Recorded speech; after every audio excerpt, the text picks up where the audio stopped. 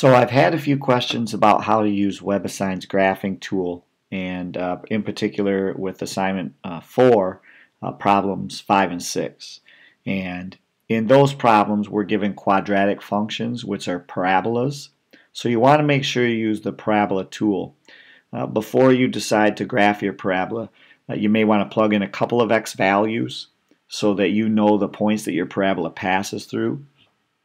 Uh, but I'm just going to work with, uh, off the top of my head, the parabola uh, negative x squared plus 10. Okay? And so what you do is you select the parabola tool. Uh, we want the one that uh, is a function facing up and down. And uh, negative x squared plus 10, if I plug a 0 in, I get 10. So I'm going to plot the point 0, 10. And then you can see as you move around, you start to draw your uh, parabola here. The gray shows you where your parabola will show up.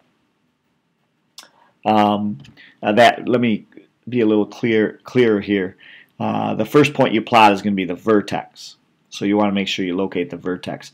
When the parabola just has an x squared term and then a constant term, the vertex will be on the y-axis. So we plug in 0, we know our vertex is at 10.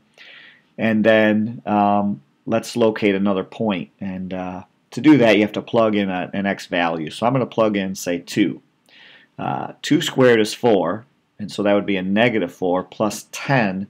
That would be 6. So I need to go to 2 comma 6 and click the second point.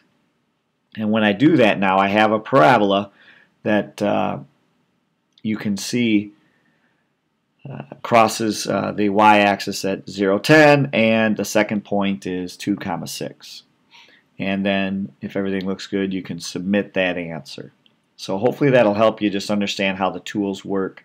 Uh, if you were uh, interested in graphing a line, then you would select this line tool. But a quadratic function makes a parabola, and so we want to make sure to um, choose that tool, plot the vertex, and then one other point. If you have any other questions, please feel free to email. Take care.